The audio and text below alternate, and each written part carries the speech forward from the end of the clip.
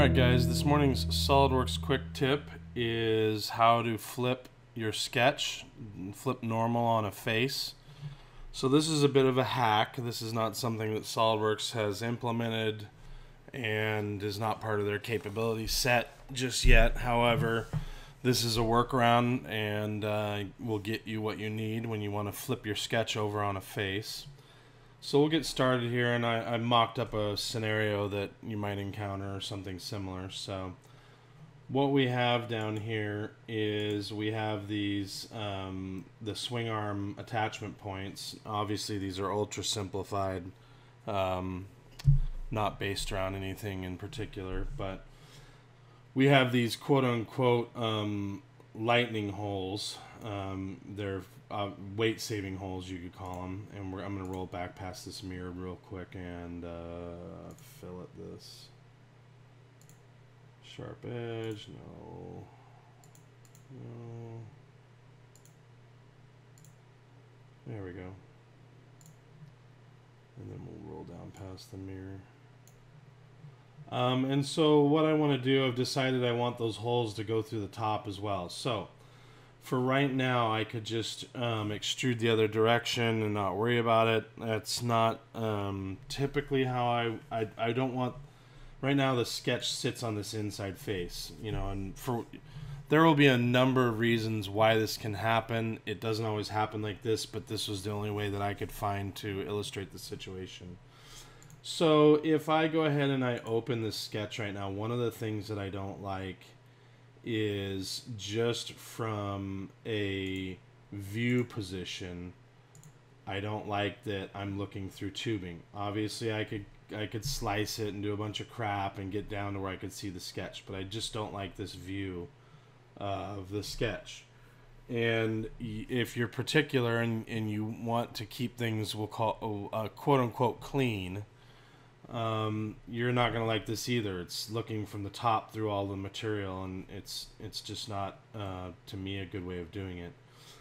So yeah, you can hack your way through it. I could add a cut the other direction, and that that would be fine. But what I really want to do is I want to move this to this face here, and that'll present its own set of problems. So we're gonna do that real quick. And what we're going to do is we're going to move this face. We're going to edit the sketch plane from here to here. And so great, now we have our sketch on this side. Cut's going the wrong direction. That's not a huge deal. We're going to ignore that for now. We're going to go into edit the sketch and we're going to hit normal to. So what you'll notice now is we're still looking from the top. Our normal's wrong. I want to be on I want my normal to be facing the other direction. And it's not like there's a button in SOLIDWORKS to do this. So here's the hack. What I'm going to do is, so first of all, I found out that you can't do this when you've constrained to an edge.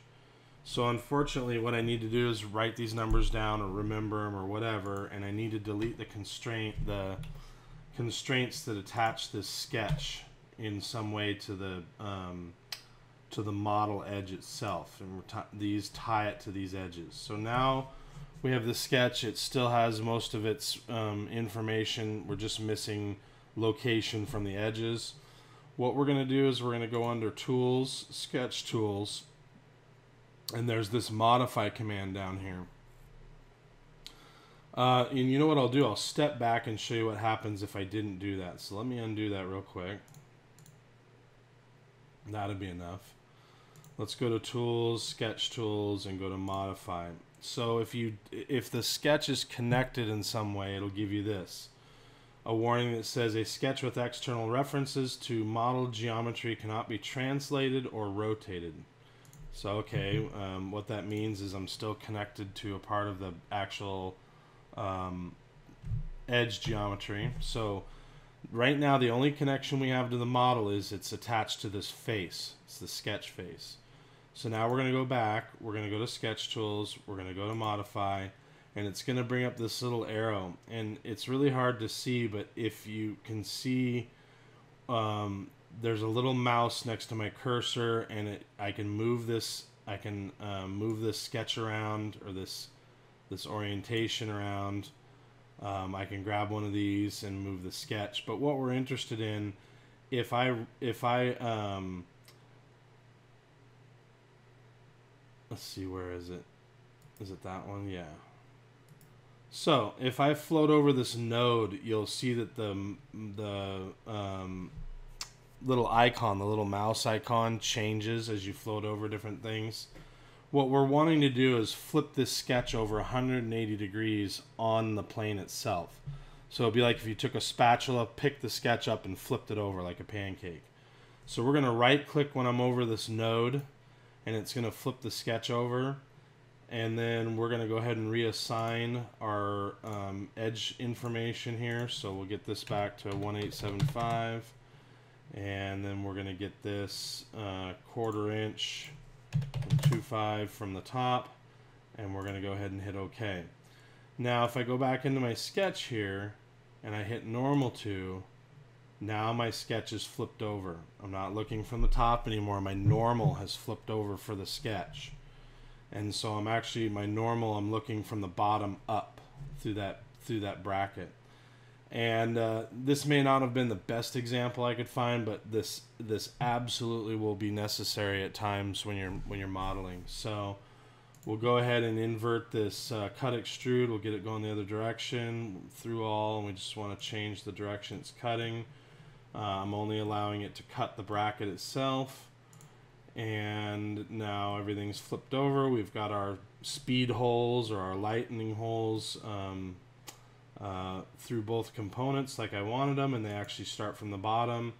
Uh, I don't like how close that top hole is to the edge, so we'll go with um, 0.3, and we'll go with 0.375. Yeah, that looks pretty good. And so, um, fillet Sorry, I'm going to fix that fillet real quick. Get that edge too. Yeah, that doesn't like that. I have to flatten it out. Um, so that's our bracket, and then I mirrored it over afterwards, so all the things I do over here get picked up on this side. So guys, that's a hack. That's a way to flip the normal over when you're sketching and you're on a face and you have and it's not a plane but it's a face and you need to flip it over. And maybe you need to move the sketch to another surface. So gives you some form of uh, dynamic movement, gives you the ability to flip your sketch over. Guys, I hope this helps someone and I'll talk to you later.